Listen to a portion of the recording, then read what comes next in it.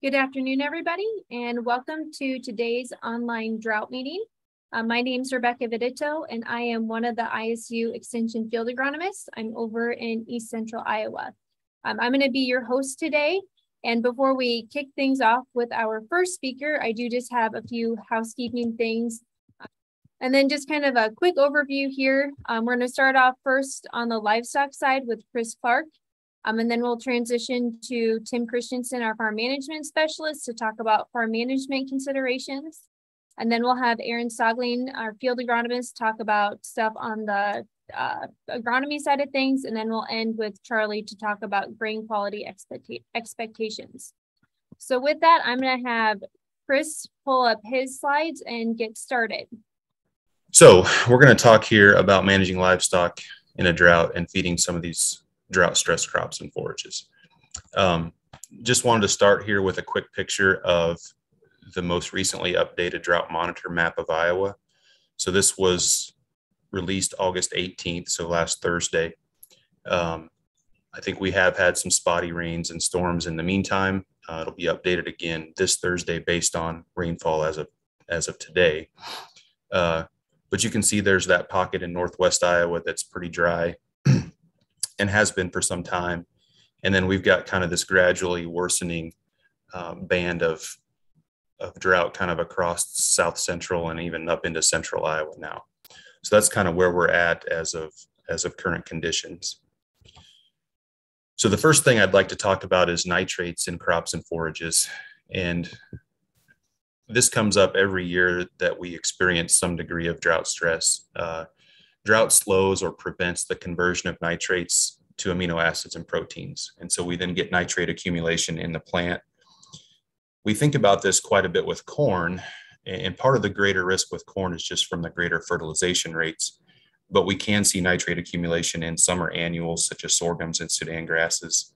Uh, we can also see it in various weeds, cereal grain plants, and cover crops as well. And so nitrates can be toxic to animals, um, particularly ruminants. Um, those nitrates can ultimately disrupt the animal's ability to carry oxygen. So you can see a whole slew of different symptoms and clinical signs just kind of related to that lack of oxygen. So this is kind of a description here of the relative distribution of nitrate nitrogen in the corn plants. And the take home message here is that we see a greater concentration of nitrates in the lower part of the stalk uh, this is from the University of Wisconsin, and it kind of breaks it down based on um, what part of the stalk uh, we're looking at, and then even looks at, at leaves and ears. You can see there's very little nitrate in the leaves and ears and in the upper part of the stalk, um, and significantly greater concentration of nitrate nitrogen in that lower one third of the corn stalk. This kind of drives one of our management recommendations that if we cut silage from drought stressed corn, we may want to raise the chopper and actually leave the bottom 12 to 18 inches of stalk in the field. And we'll talk about that more here in just a moment. So there are some tests that can be done for nitrates. Uh, this is kind of demonstrating here a quick test or a field screening test. Uh, many of the agronomists and beef specialists have uh, this solution of diphenylamine and sulfuric acid and distilled water and we just take corn stalks we split the stalk and put drops of this solution on the split stalk, starting at the bottom and kind of working up toward the ear. A color change to uh, blue, black, dark purple, anything along those lines, that would indicate the presence of nitrates. Um, probably at or above somewhere around 4,000 parts per million. Now, it's a very qualitative test. It's kind of a yes or no, looking for the presence of nitrates if we see indication of nitrates with that color change, then we really need to follow up and try to look at nitrate concentrations. to do that, we'd like to submit samples to the ISU diagnostic lab or to another laboratory. Many of the commercial labs that do forage testing will also do nitrate uh, concentration testing. Uh, one of the tricks to this, one of the really important aspects to this is getting a representative sample. And then we want to play, pay really close attention to how the results are reported. So this slide uh, shows a graph from an Iowa Beef Center fact sheet. It's uh, IBC 50. It's about nitrate toxicity, done several years ago by Dr. Ensley and, and Dr. Barnhart. As you can see here, we've got three different forms of nitrate reported. Okay, so sometimes labs will report as potassium nitrate, sometimes as nitrate nitrogen, and sometimes simply as nitrate ions. Okay, and then we've got these feeding recommendations based on the concentrations of nitrate in the feed. So if we just compare these two right here, let's compare nitrate to nitrate nitrogen. For nitrate, anything above about 10,000 parts per million is considered dangerous and we probably don't want to feed it. We're on a different scale if we look at nitrate nitrogen. And over here, anything above 2,300 parts per million is considered dangerous and we would recommend not feeding it. And so you can see it becomes really important to know what form of nitrate we're talking about and kind of how your results are reported from the laboratory.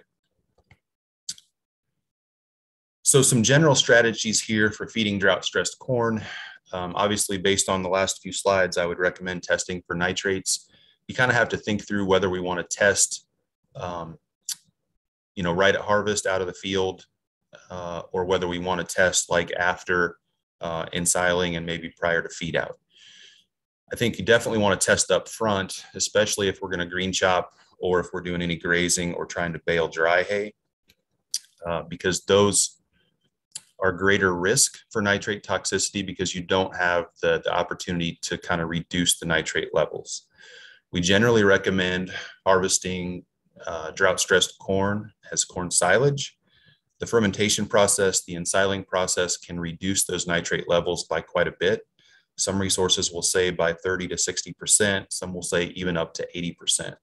But you can see a significant reduction in nitrate levels with the fermentation process of ensiling. Now, that being said, I think it becomes really important to make good quality silage to optimize that fermentation. We've got lots of resources on the Iowa Beef Center website about making good silage. To me, it comes down to typically two main things. Um, first, let's harvest at the proper moisture level. And then second, let's really do our best to eliminate oxygen, which means to pack well, to cover, to seal up those bags really well, whatever that case might be.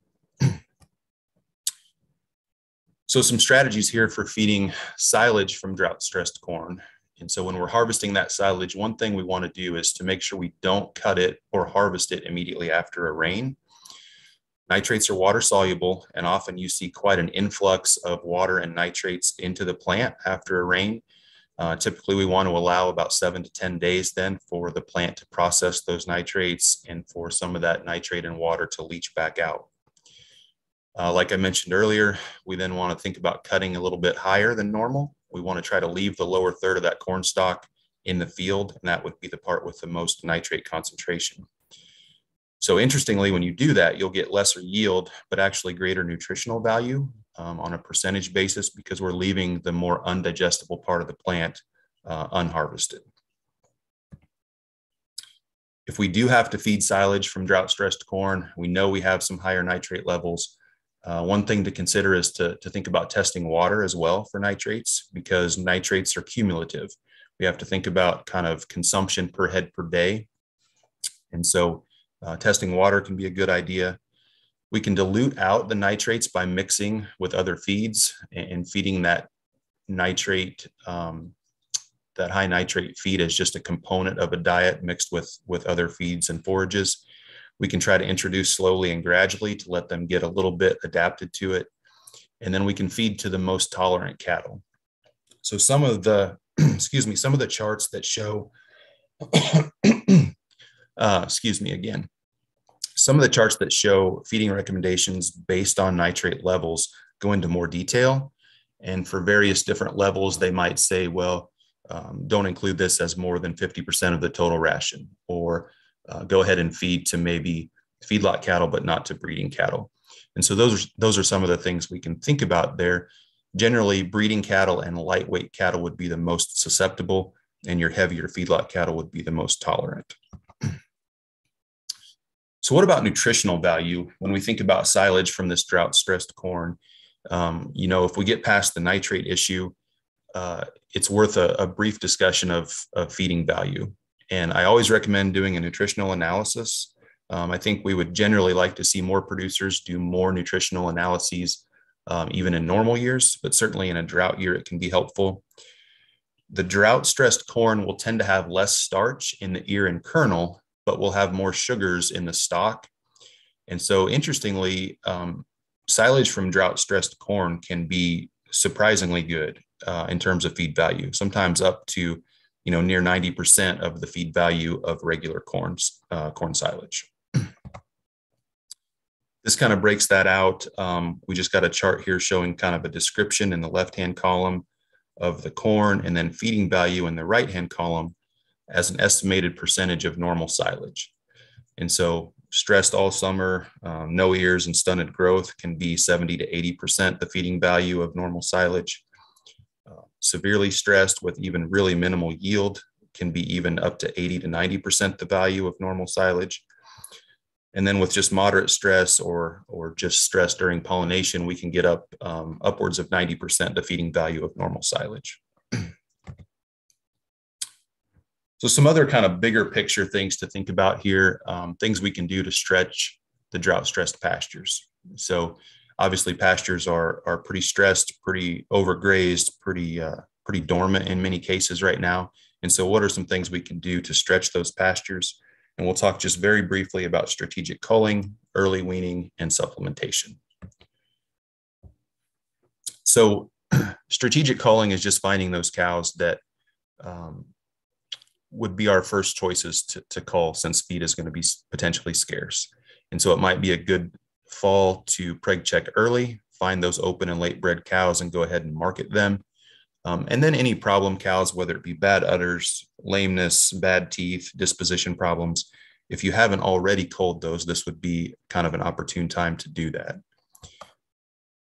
Early weaning can be a good management option here, which can minimize cow energy requirements by 30 to 40%. It will also minimize um, protein requirements as well. And can also just reduce your grazing pressure on your pasture. You, know, you figure if you've got 13, 1400 pound cows with, let's say 400 pound calves at side, um, those calves are grazing in addition to suckling. And so just by removing them from the pasture, we can reduce that grazing pressure. So for early weaning, you probably tend to have the best success with, with calves that are at least 90 days of age. So we're shooting for maybe 90 to 120 days of age. Um, but I would say those calves at that age are still more susceptible to respiratory disease and stress as compared to calves that would be weaned at, let's say, 200 days of age. So I think it's really important to think about minimizing stress, going through the preconditioning process, acclimating them to their feed prior to weaning. Keep in mind then we're weaning in a warmer environment, a warmer season than if we were weaning in October, November. So we need to think about managing dust and flies. We need to think about offering shade. And then water is really, really important, especially on these warmer days uh, for these weaned calves. I've come to believe that dehydration and shrink are really strong um, risk factors for developing disease. And it's just going to be critical that we have plenty of fresh, clean water available and that the calves know kind of where to find that water. The other thing to think about is the height of the waterer. If we're weaning lighter weight and younger calves, we need to make sure that they can reach the waterer. Feed selection here uh, needs to be palatable, nutritious, and economical. Um, we can help you with rations for early weaned calves, but a couple general recommendations. Typically, that protein level needs to be 14 to 18% crude protein, maybe even a touch higher depending on age and weight at weaning. Generally speaking, a third of that diet would be high quality forage, and then about two thirds would be concentrate. And this is on a dry matter basis. And then work with a nutritionist or an extension specialist to make sure that we balance those rations well and, and really kind of optimize um, what we're feeding. So if pastures are short, consider early weaning, and then we can also consider supplementing. And so that can be a variety of different feeds. Typically, we don't see a reduction in forage consumption from the pasture until we get to a supplementation rate of about 1% of body weight. And even then, it's not pound for pound displacement. Um, we sometimes think of it as maybe like a half to three quarters of a pound reduction in forage intake for every pound of supplemental feed uh, fed per head per day. So with that in mind, um, there, there may be instances where we need to go even further and could totally remove them from pasture, and we'll, we'll mention that in a moment. But for supplementation, we do have a variety of feed options. Uh, I like to look at that on a price per unit of nutrient. So I've got a little spreadsheet that I like to use that helps me find price per unit of energy, price per unit of protein, and it helps kind of compare apples to apples. So if pastures are really short, we then want to consider early weaning again, but we may have to go a step further and think about a sacrifice paddock or a dry lot, and then feeding those cows, whether it be hay, silage, total mixed rations, uh, whatever kind of works in your operation. This hopefully will allow the pasture some recovery time uh, as we head into winter. Couple quick notes on other potential cow feeds for winter feeding uh, as we move into uh, the fall and winter. So obviously we get emergency release of CRP for haying and grazing if we get to a certain degree of drought stress. Uh, keep in mind that that forage can be variable uh, depending on the species that are there. And it can also be pretty mature considering we're not harvesting until early August. So it tends to be a pretty low quality forage. Corn stalks are another thing to think about. Uh, they can be a valuable feedstuff uh, when supplemented appropriately again there i think about the nitrate risk and so you have to think a little bit about whether you're baling or grazing and what that risk might be. So if baling i think you have to think about how much of the lower stalk you're trying to incorporate into the bales and then how you're going to feed that. Will a cattle be able to sort eh, or not? Um, and things like that. In previous drought years we've talked a lot among the iowa beef center staff about the risk when grazing and i think the general consensus is the risk is relatively low for grazing corn stalks just given the selectivity um, that that cattle graze with. And so they're going to first look for the grain and the husk and the leaf, and then maybe some upper stalk and some cob. They're going to get through most of the goody before they start focusing on the lower part of the stalk. And so I think if we manage it appropriately and if we don't overgraze um, corn stalk residue fields, we can probably graze corn stalks with relatively low risk for nitrate toxicity couple general recommendations for stretching feed supplies, uh, test feeds and forages, work on minimizing waste, both storage loss and feeding waste. Um, utilize the silage from drought stressed corn if you can.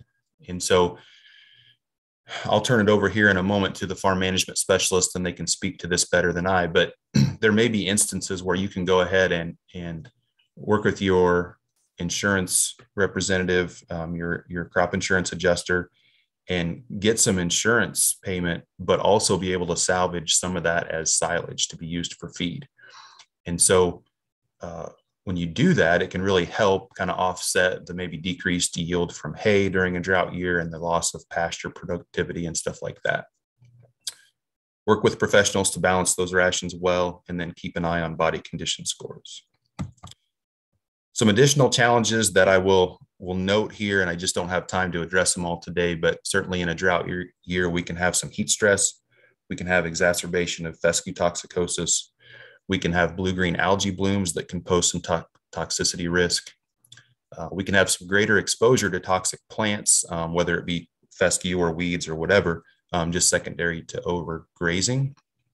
And then we can also have some risk for mycotoxins. So in some drought years, we get enough heat and humidity and stuff where the environment's right for aspergillus. And so we have some risk there for aflatoxin. And I think maybe there'll be some mention of that by some, some speakers here in a few moments.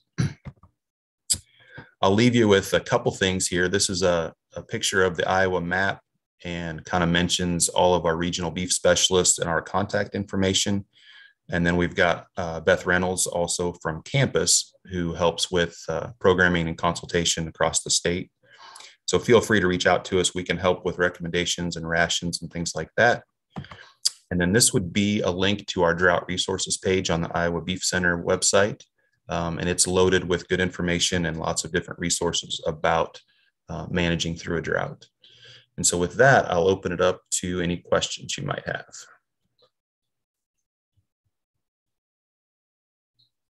Thanks, Chris. So if anybody has any specific questions um, for Chris, feel free to type them in the chat box. And if you also notice in the chat box, um, there's a variety of different resources getting uh, put in there as well. So be sure to check those out. Um, well, I think we're maybe waiting to see if there's any questions coming in, coming in, Chris. A couple questions I jotted down that I know we sometimes get. Um, you mentioned uh, the sorghum or uh, sorghum sudan as having a concern potentially for nitrates. Um, what about millets as well? Do they have as much of a concern? Yeah, I would include those in that list. I think many of those summer annuals, um, uh, including the millets, would be at risk. Uh, same kind of deal, probably more of an issue um, when we've fertilized heavily and more of an issue in the lower part of the plant. And so there may be some options to kind of manage that depending on how we manage harvest and grazing. But uh, I would still be somewhat concerned there. Thanks, Chris.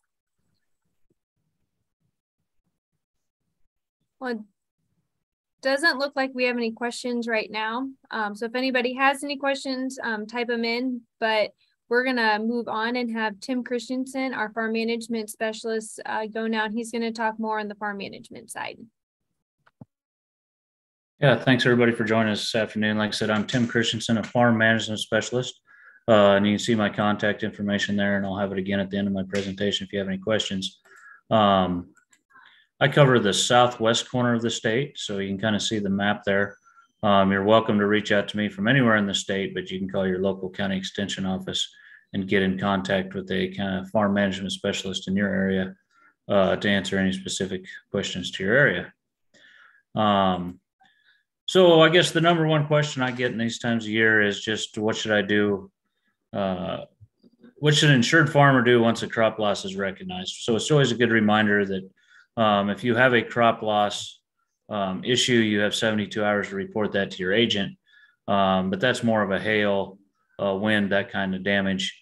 Um, in a drought situation, you have 15 days um, after the end of your insurance period, which would be harvest.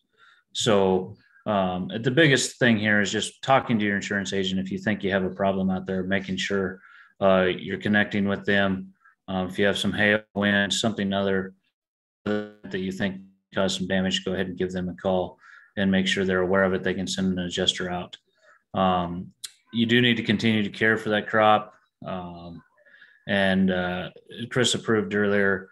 Um, the last thing you want to go is go out and start chopping on destroying the crop, doing anything with that crop before you talk to your insurance company.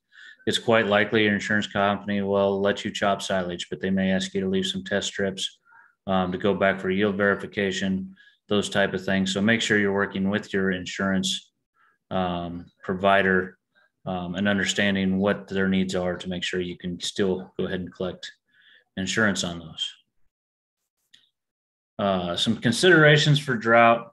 Um, I think we need to be doing some yield estimates for our marketing strategies if we've pre-harvest harvest pre-harvest marketed some of the grain uh, making sure we're going to have bushels to cover those contracts and, and discussing that with our um, grain retailers that we have those contracts uh, and if we think we're going to be short kind of talking about what uh, strategies we might have there.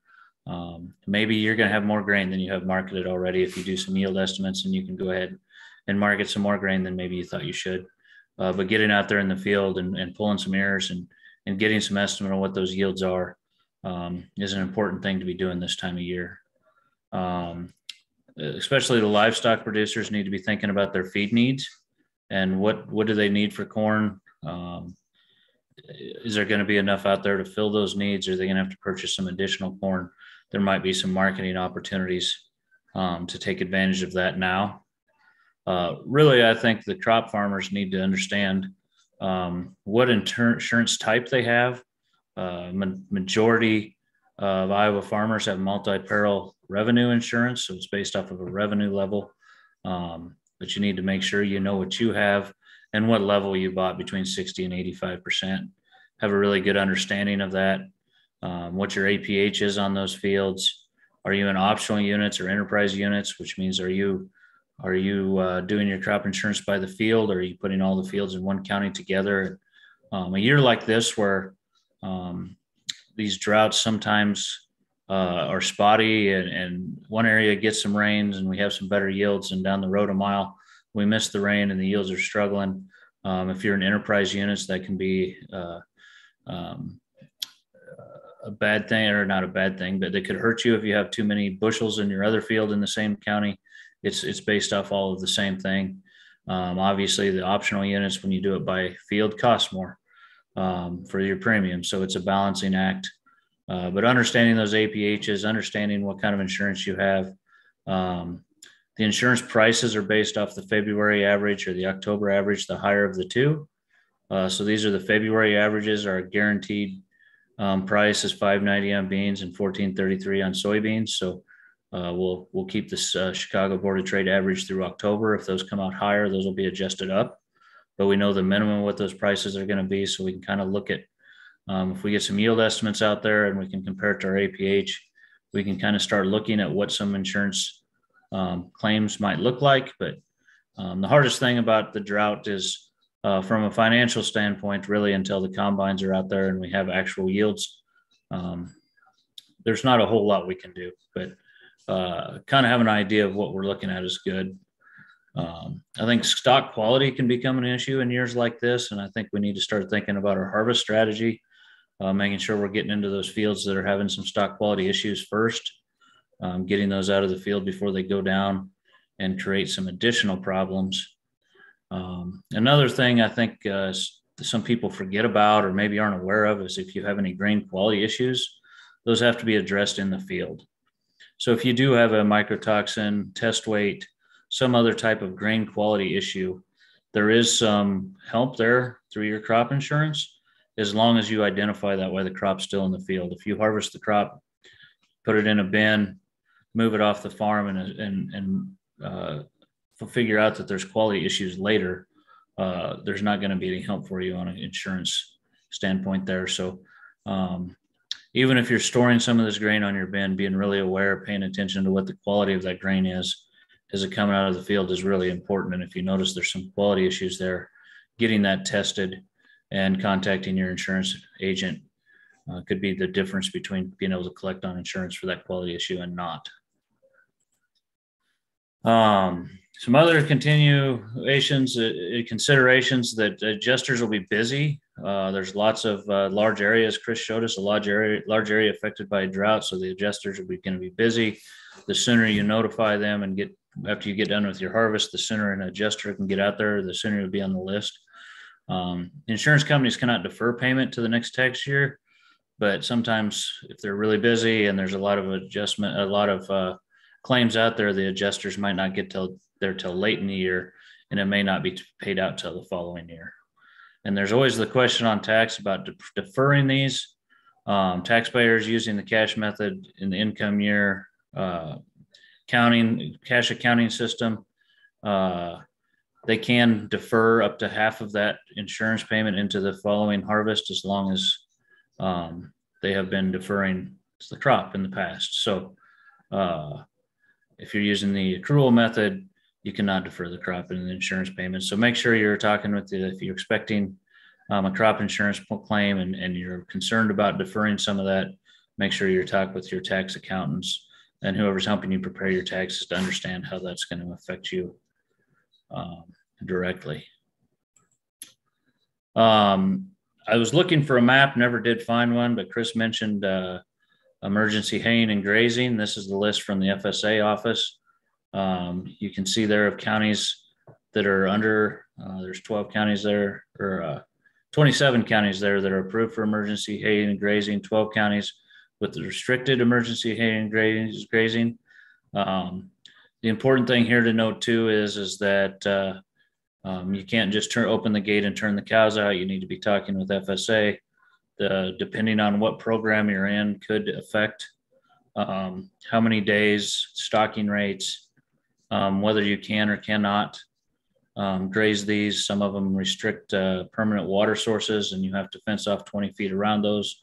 Just depending on what program you are, there are some different rules. So before you um, turn the cows out uh, and start grazing an area, or, or fire up the baler and, and start uh, wrapping up some bales, make sure you're in contact with your FSA.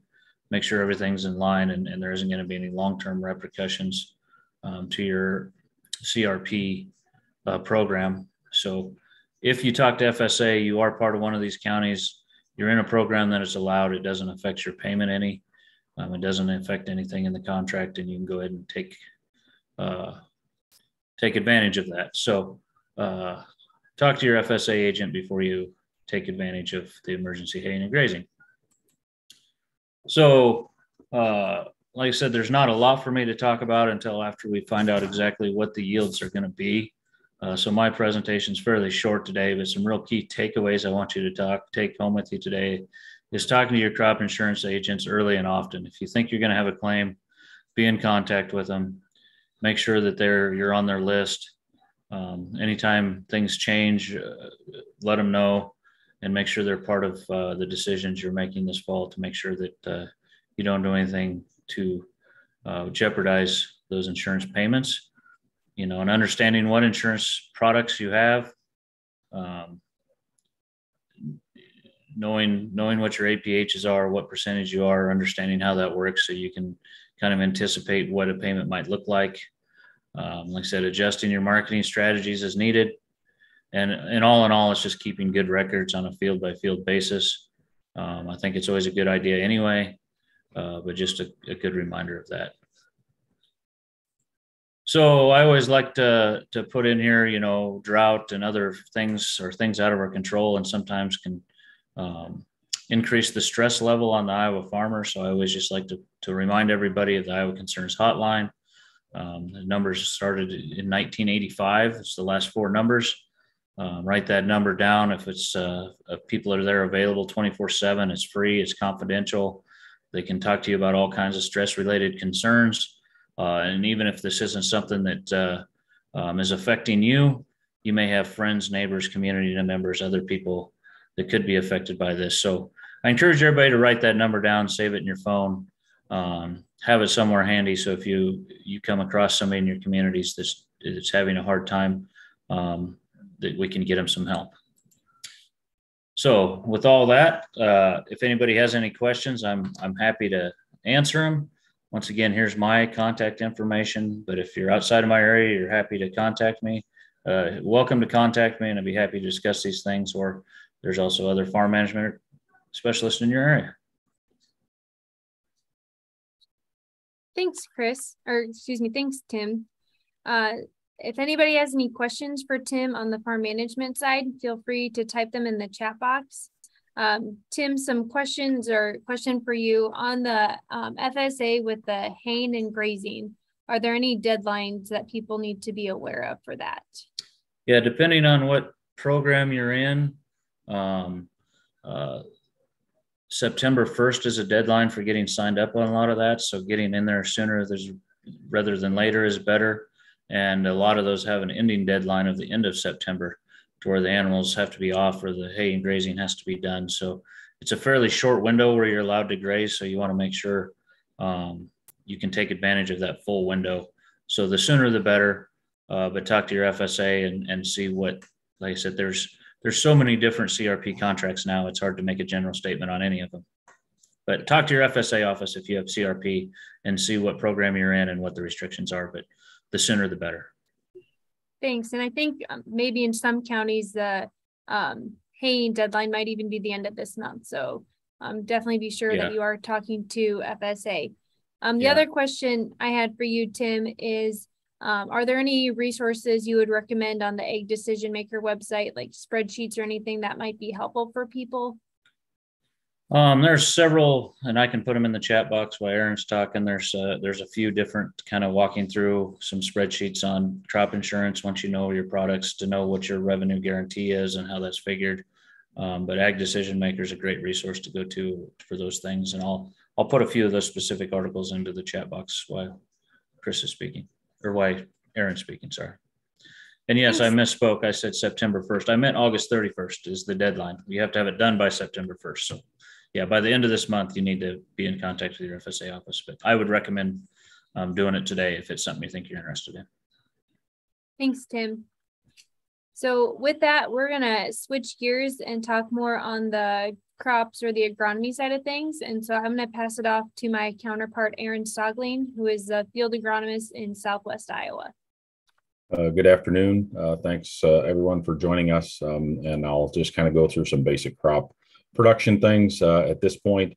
Uh, it's very difficult to make any uh, management decisions this late in the game, but we'll go over a few things to just kind of keep in mind. Um, so there's a picture of the drought monitor, obviously. Um, as field agronomists, uh, we have input on this uh, on a weekly basis throughout the growing season. So sometimes you'll see this line shift or move or change. Um, as Rebecca pointed out, I'm in Southwest Iowa.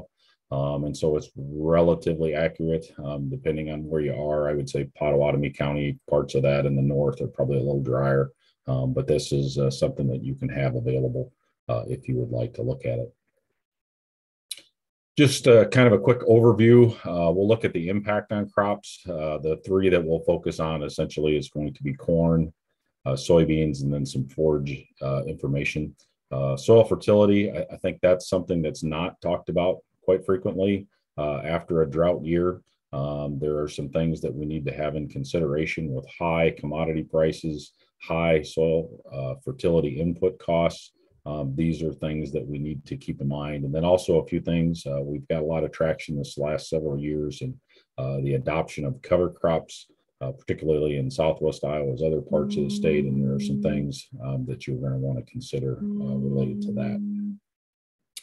So when we look at uh, impact, corn in particular, uh, th this impacts when you have a lack of moisture, um, growth and development of the corn plant in particular. While early on in the growing season, um, this can be beneficial for corn. I think uh, a lot of folks uh, reap those rewards last year uh, because of the rooting ability of the corn crop. Uh, if it's a drier May and June or April, depending on your planting date, um, those roots tend to go deeper into the soil profile uh, and can benefit you later uh, as the crop dries out.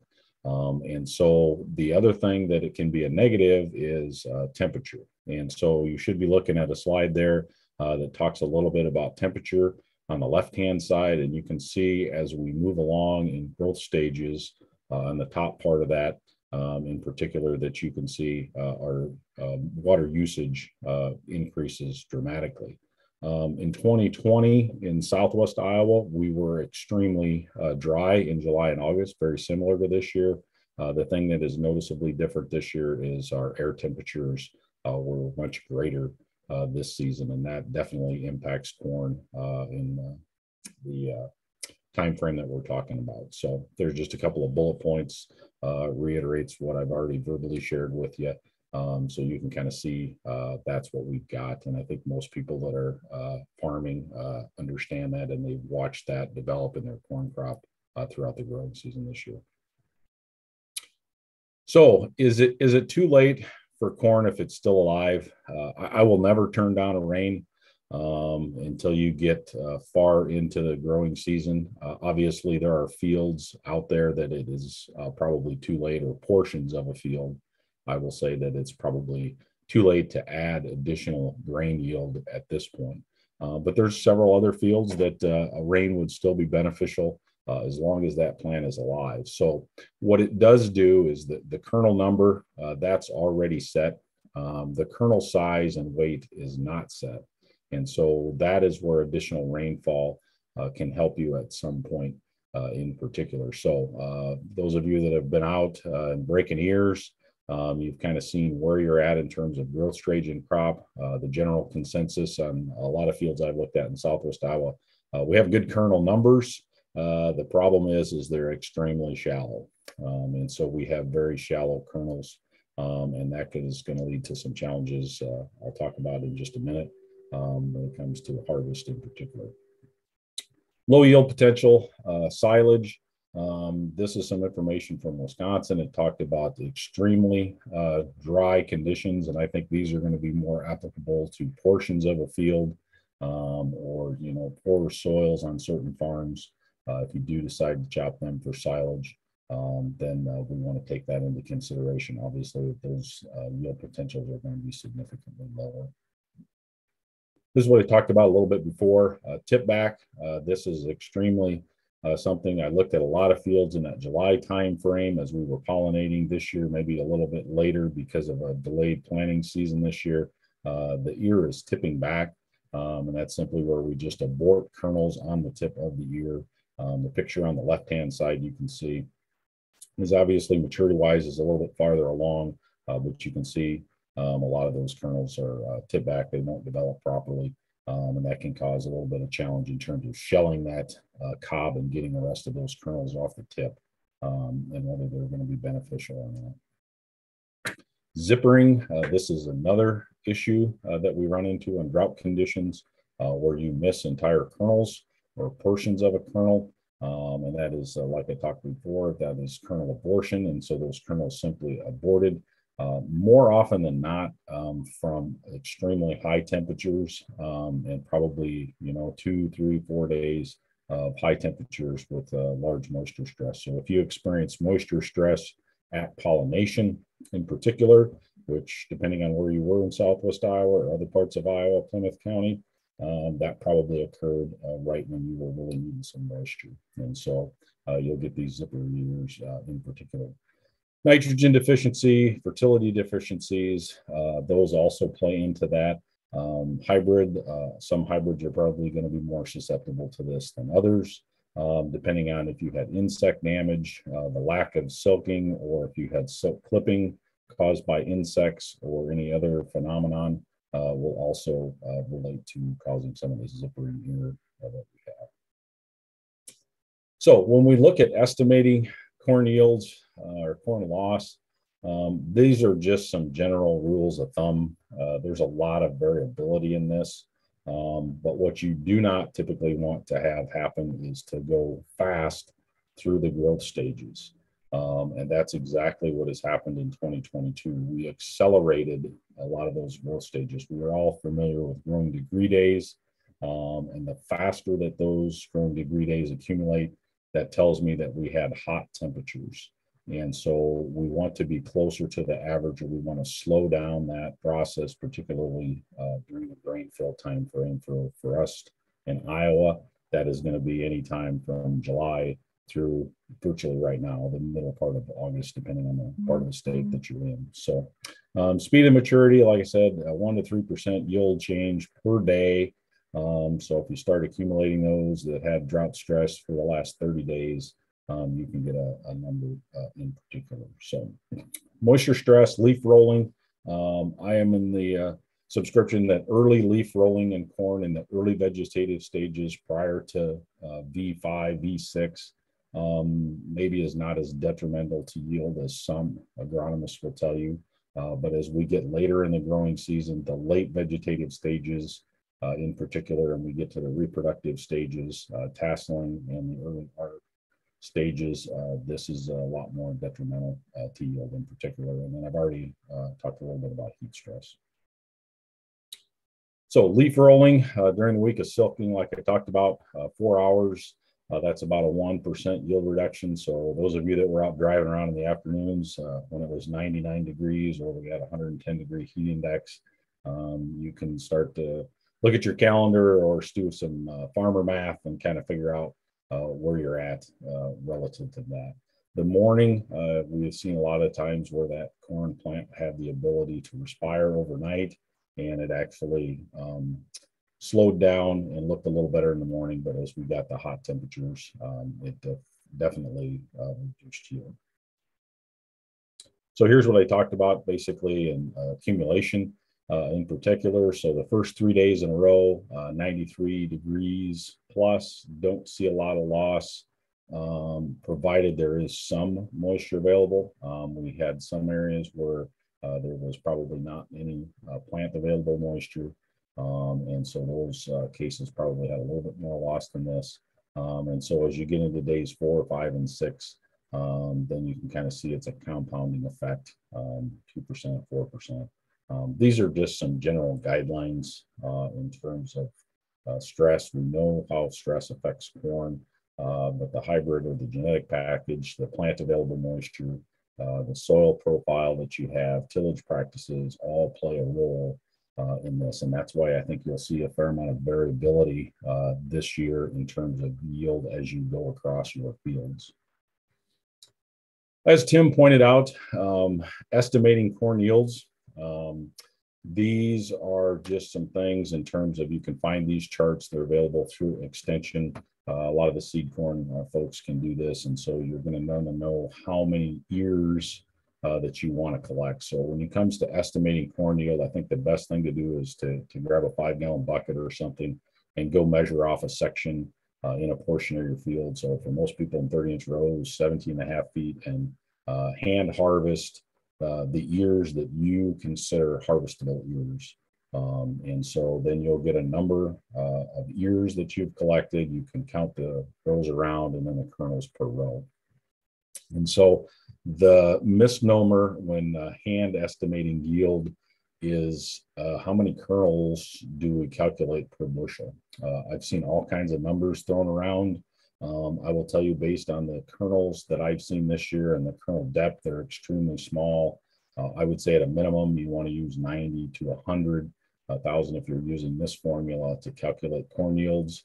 Um, there's no 100% accurate way to do that, uh, but I think you'll be a lot closer in the ballpark uh, than 90, or I've seen 88,000 used to be a common number on some of the uh, spreadsheets when you're calculating it by hand. Um, but 100 is probably going to be a closer number for those of you that are, are pretty affected by uh, drought. Other potential issues, uh, received several calls uh, related to corn aphids in particular this year, uh, spider mites. Uh, at this point in the game, it's very difficult to make those management decisions, and you're simply going to have to take that on a field by field basis. Um, I can't speak to other parts of the state. I can tell you in southwest Iowa, most of our crop is pretty well advanced uh, that I probably wouldn't use any insecticide applications on insects this late uh, in corn. Um, soybeans are a little bit different discussion um, as you get into the R, what we call the R5.5 stage. That's a pod set uh, to the top portion of the plant. Um, you may have an argument that uh, if you have spider mite infestations, that we might want to consider that uh, in particular when it's uh, when it's related to soybeans. Uh, harvest combine settings important. Um, be aware of that. Um, and smaller ears are going to be a little bit harder to do that. So your snapping rolls on your head, you may need to adjust those in particular.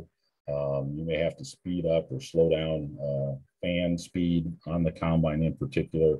Uh, you may have to increase or decrease, excuse me, your concave clearance uh, setting to collect a lot of those uh, smaller kernels. Be sensitive of moisture type.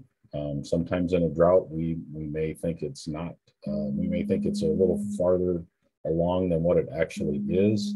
And so we want to make sure that we're harvesting grain at, an acceptable moisture level in particular.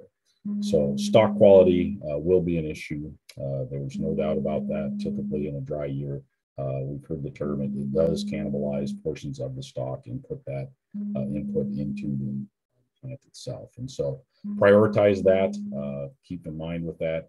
Eardrop can be a problem. Uh, the shanks tend to be a little bit smaller. And so as we increase harvest speed, um, we may um, shatter those ears or when we snapping rolls, uh, grab those, those ears tend to bounce. Um, and so we may have more ear loss uh, in the field and just be sensitive to that when you're setting your header speed.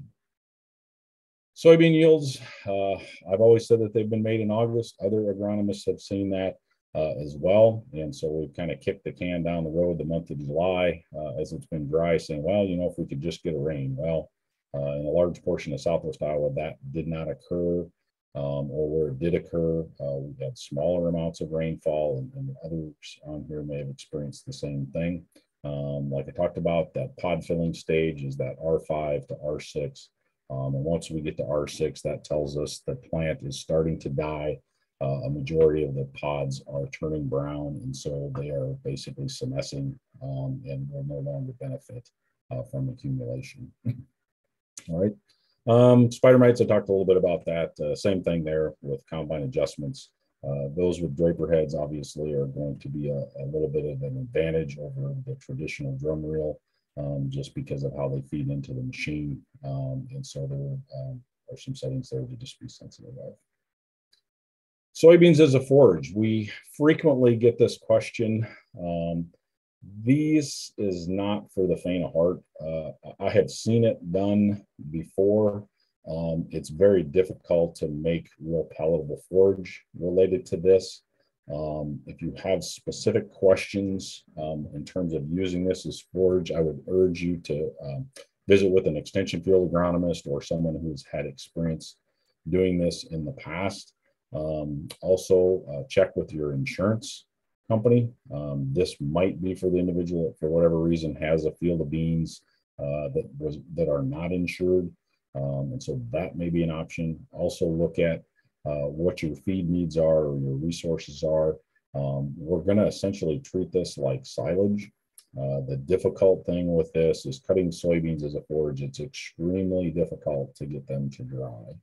Um, and if you don't treat them properly, um, in terms of uh, they probably need to be wrapped, it's very difficult to make it dry, dry hay, I'll call it. Um, you're probably going to need to wrap them and make some type of silage uh, related to that. The biggest thing I think for most folks that will kick this out, um, most pesticide labels uh, for most soybeans uh, probably are going to prohibit you from using these as a forage. And so please be aware of what your herbicide program was and whether it's even acceptable uh, to do that. And so that would be a violation of the label, uh, regardless of whether we think it would uh, hurt the livestock, it would be a violation of the label. Pastures and forages. Um, obviously, if you're in a drought, most of these are already overgrazed.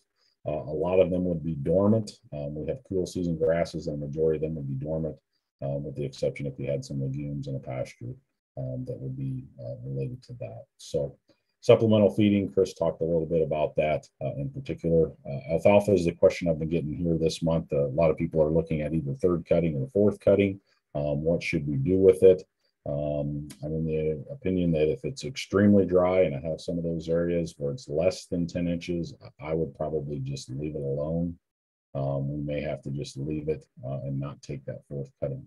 That's very difficult uh, because most people are short in terms of forage.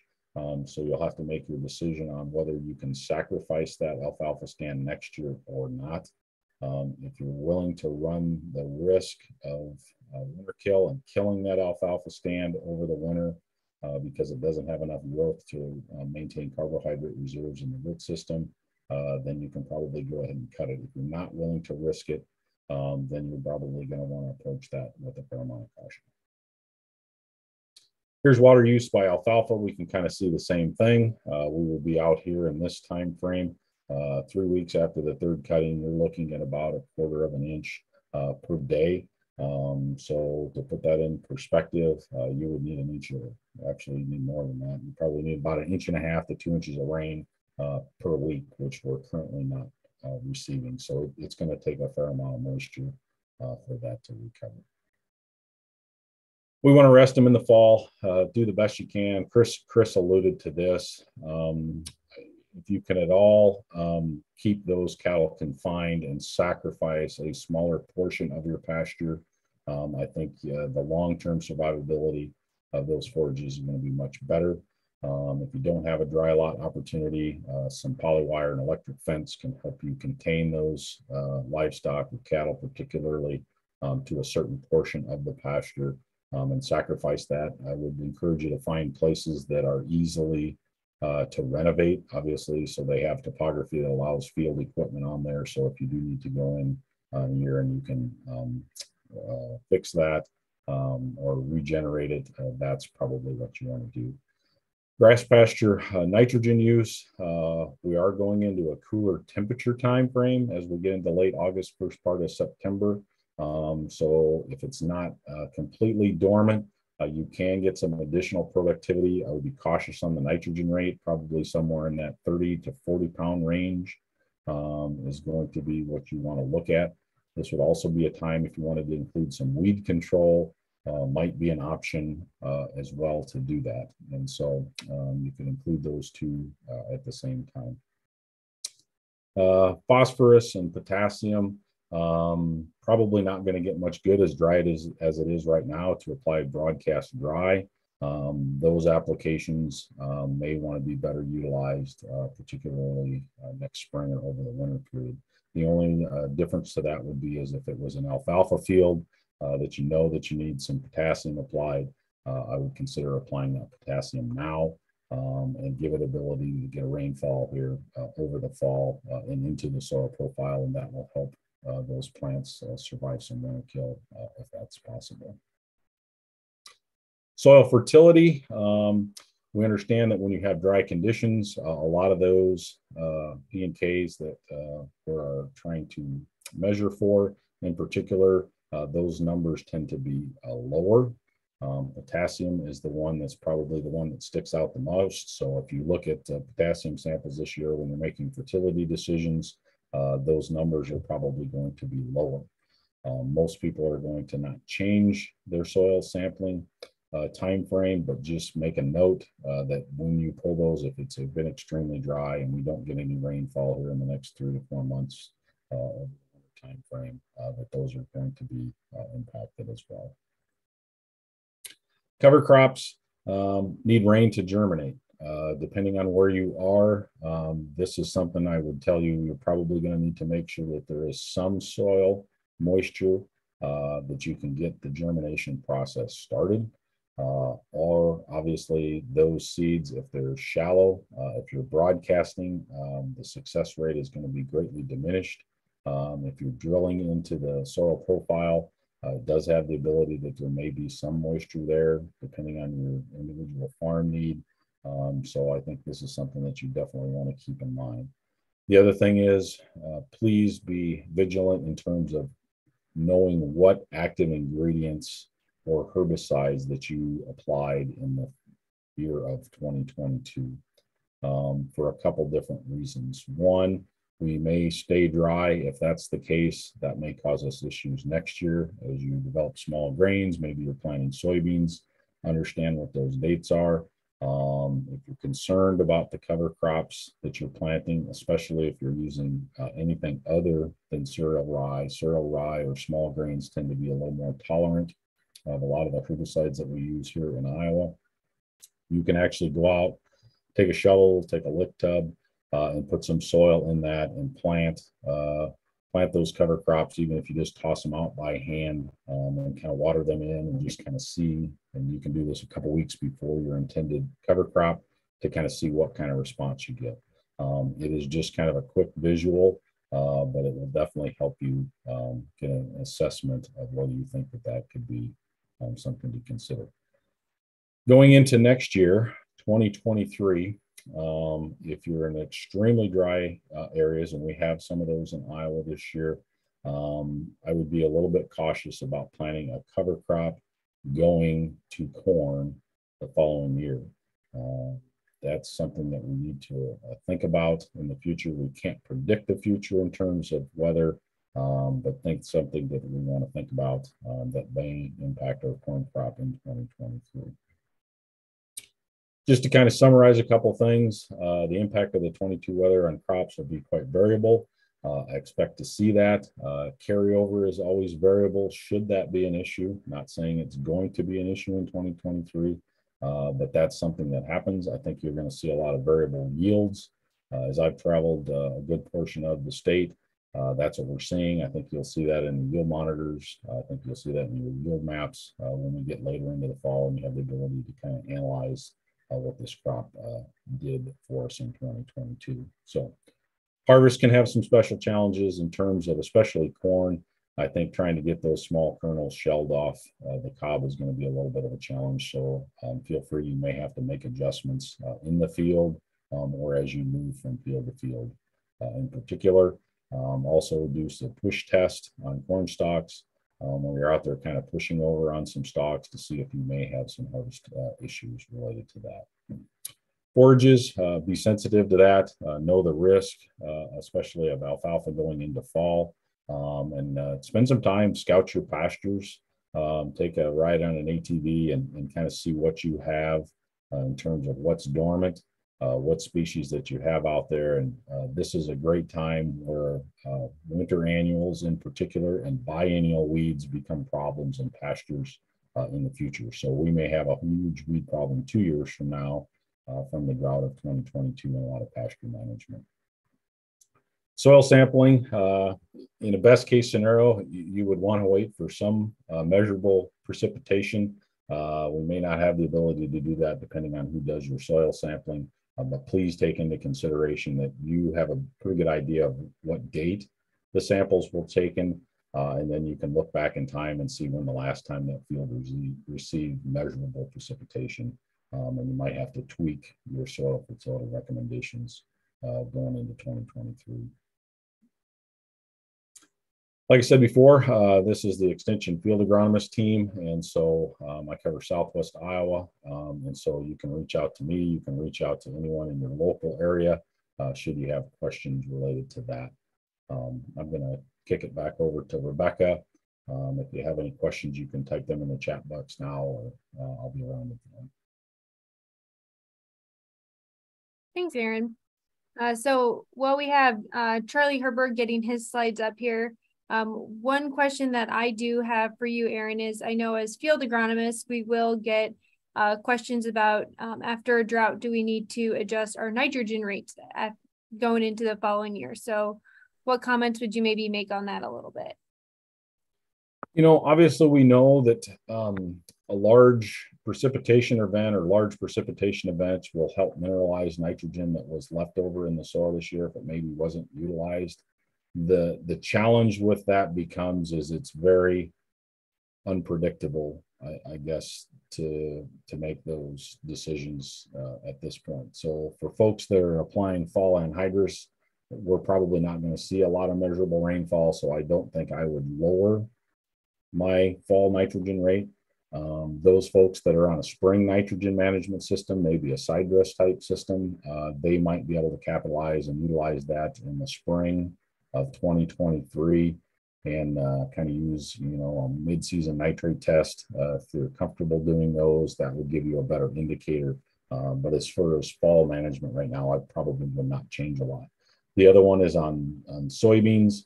Uh, we beat this horse to death. Uh, traditionally, we, we, we're just going to take 40 bushel credit, and, and that's what we're going to take for nitrogen. And the reason for that is, is because it's mostly in the leaves.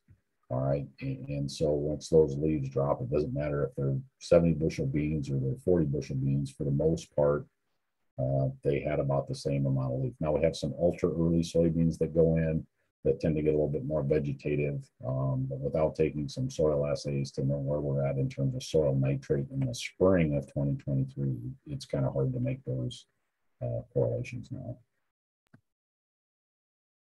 Thanks, Aaron. And so with that, um, we're going to have Charlie Hurburgh, um, who's our last presenter today, uh, talk about possibilities for grain quality as we head into the fall. So Charlie, it is all yours if you want to unmute yourself. I just did. There we go.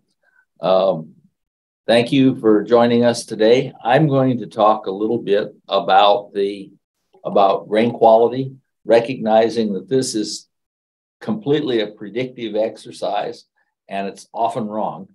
Uh, boy, I'm going to talk a little bit about what we might, based on our experiences in previous years, what we might expect. Thank you, Rebecca. Uh, what we might expect for uh, for grain quality given the persistent drought through the year. Uh,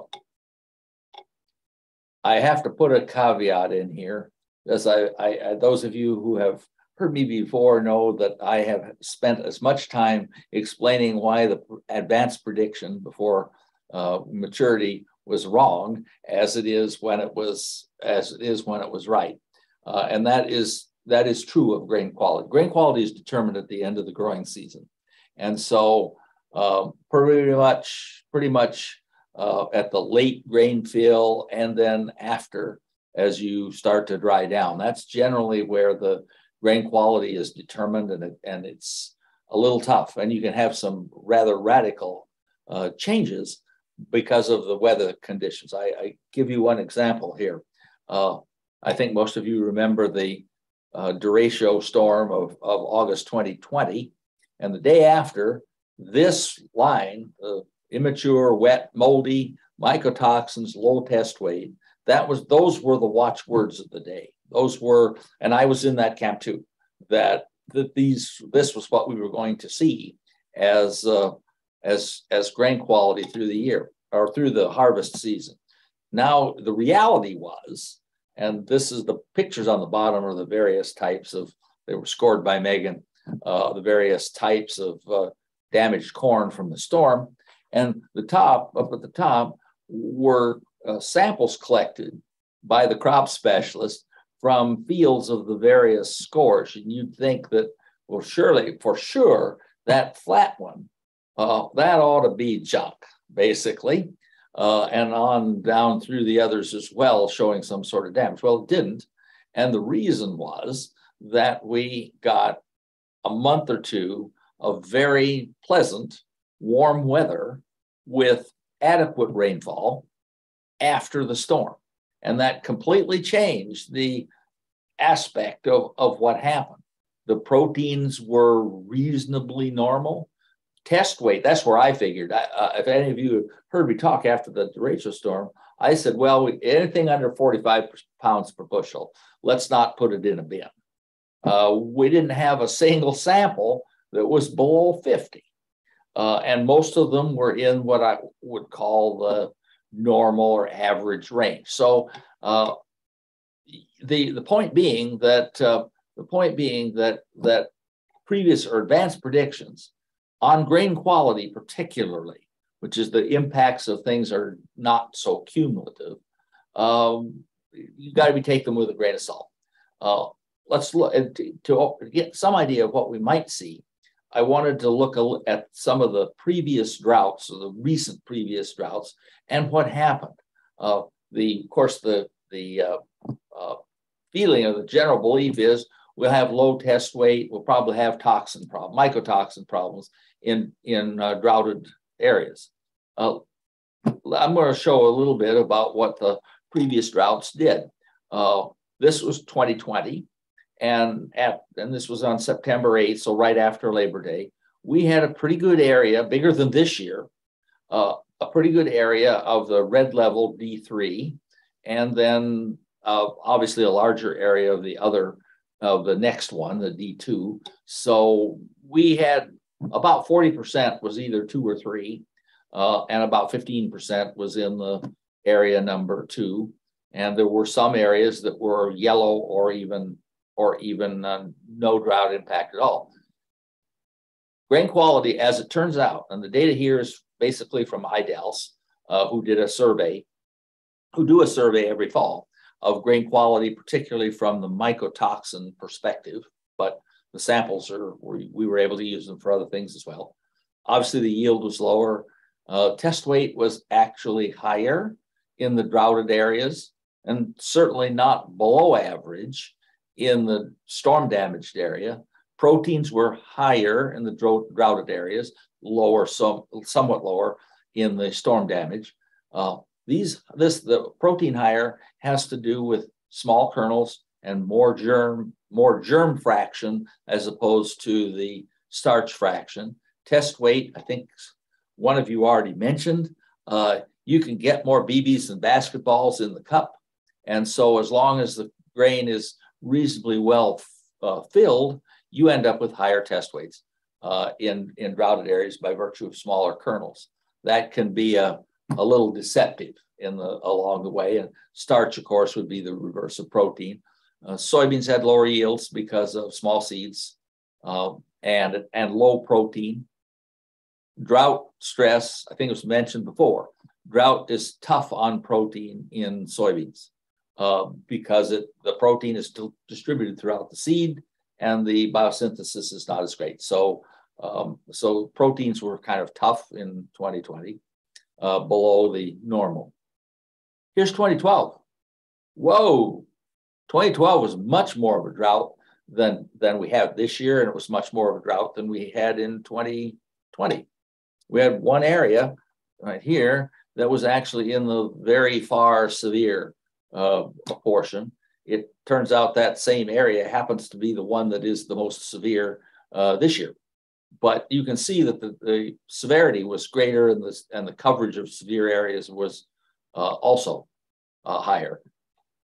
The IDAL survey, again, uh, came up with much the same answer in that uh, essentially the grain matured reasonably well. It still wasn't drought enough to kill it, before it had time to reach maturity. Rather, the seeds were small, the yields were low, it still reached maturity. Protein was higher, test weight was higher, yields, yes, low. This time we had enough heat and, and then a little bit of moisture at the end of the season to create some aflatoxin in southwest Iowa. And that's always the fear of a droughted of a droughted crop is that we would get typically aflatoxin. And the proteins in soybeans were lower and the seeds were smaller. Roughly the same thing, maybe to a little bit greater degree. So that takes you to this year.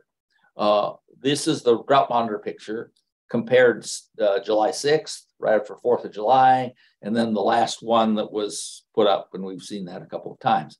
Uh, it has been growing, but it is not as severe, nor the severity is as large in coverage as either of the previous droughts that we can, that at least we have uh, drought monitor records for. Uh, so one might not expect uh, much different response or even as strong a response as we had in, uh, in either of the previous two drought years that are in recent memory. We had one area of D3, a relatively small one, and uh, in northwest Iowa. And this area of, uh, I think that's D2, uh, is uh, has been growing over the over the season, but wasn't there earlier in the season. It's been gradually growing as rainfalls missed certain parts of the state. Well, that takes then that takes me to uh, what I'm not supposed to do, what I'm always wrong at doing, which is make a prediction of what we can expect this fall. It looks as though probably we will mature normally uh, with with a normal black layer. Seeds are small. They've been Aaron reported them uh, that in Southwest Iowa they were. That's not much different than other parts of the state. So I think we'll have small kernels, uh, probably not as well filled as we might normally have. And in the severe area, maybe some that actually will get far enough to the reduced test weight and and uh, and and reduced composition uh, uh situation, but probably not over a great deal of the state. I, I believe we'll end up with relatively normal maturity, even though yields are depressed. Shallower kernels, but smaller, thus no not low test weight. We'll get will they'll fit in the cup and we'll get probably about what we would normally get for test weight. We could be more susceptible to yield and mold given the, the right, or should I say the wrong, conditions after Labor Day, that we could get more susceptibility to mold in the field. And it might not always be aflatoxin. I'll get to that in just a sec here.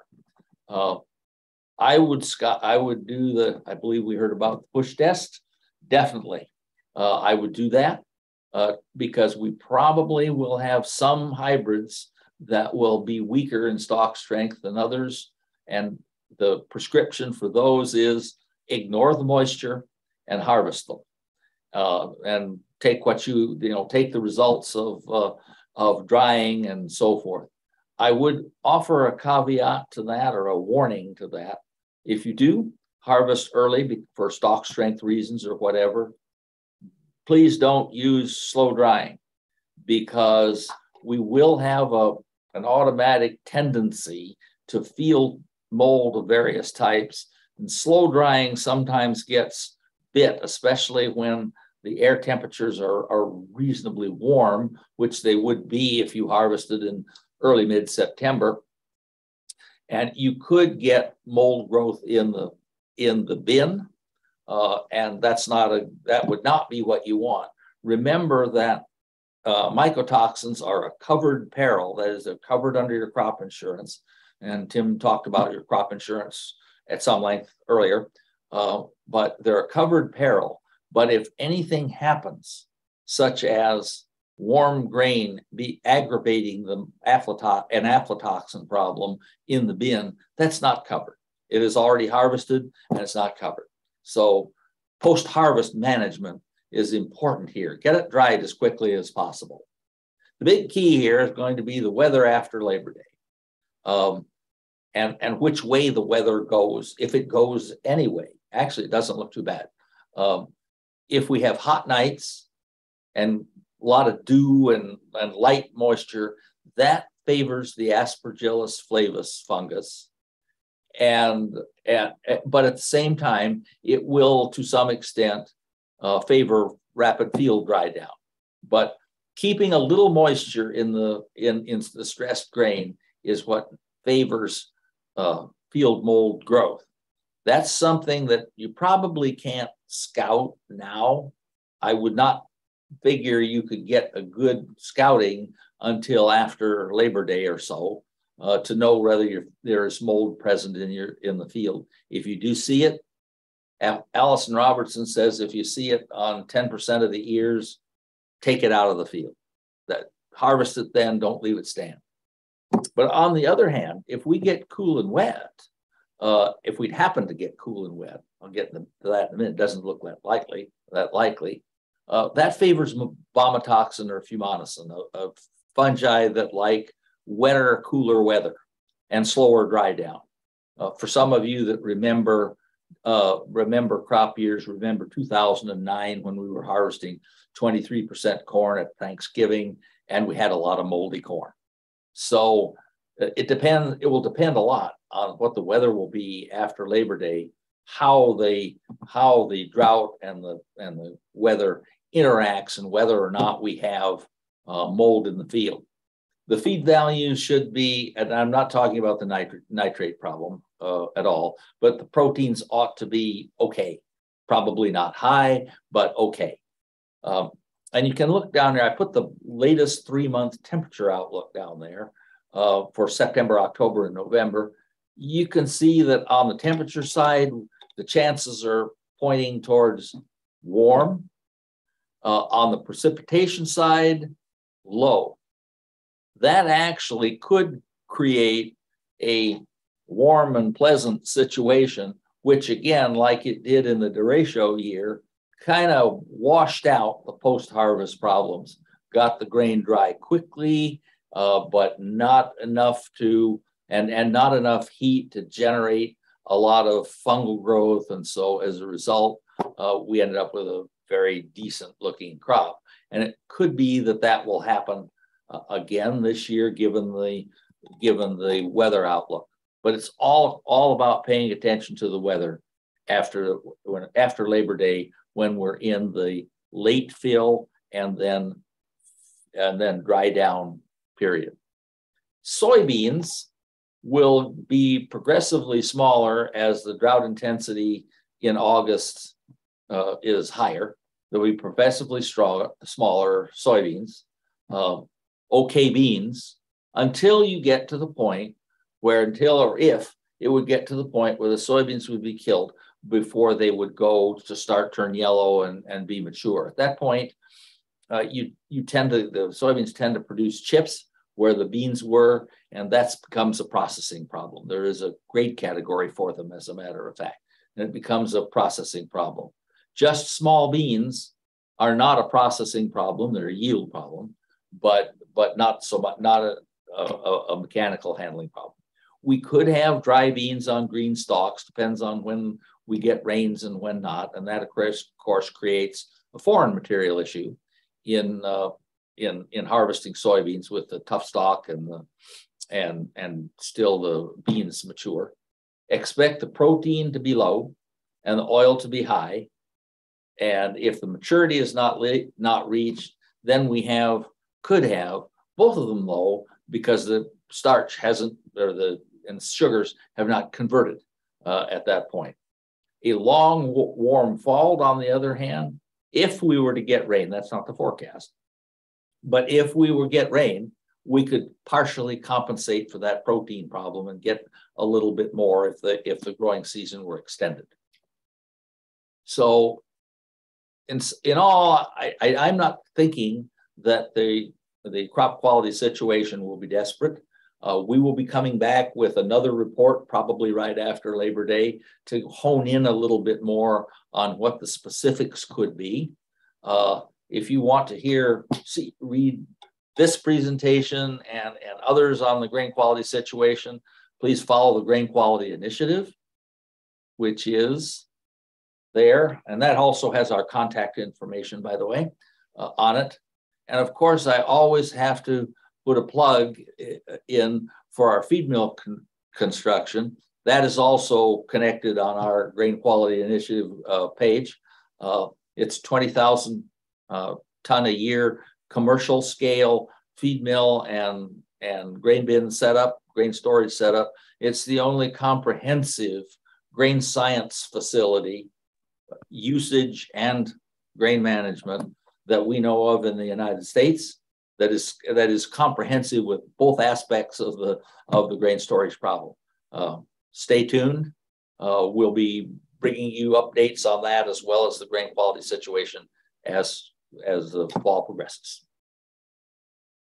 Thanks, Charlie. If anybody has questions for Charlie or any of our other speakers, uh, feel free to type them in the chat box. Um, and then also be sure to check out the resources that have been shared in the chat box as well. Um, one question we did get in um, during this meeting was um, if this meeting was being recorded, and it is, and we will be posting it later. Um, to find the link for it, if you just go back to the um, aep.iastate.edu website, the one that you went to to join this, we will have the link where you can access the recording for today's uh, today's session as well. So with that, I'll check our chat box to see if we have any questions. Um, but we greatly appreciate everybody who was able to join us today. Um, and if you do think of questions later, uh, feel free to reach out to any of the specialists. We are more than happy to help answer any questions that folks have. And at this time, it doesn't look like there's any questions. Um, so with that, uh, we'll end today's program. Uh, we greatly appreciate everybody joining us. And like I said, if anybody does come up with a question, uh, feel free to reach out to us. We're more than happy to help. Thanks.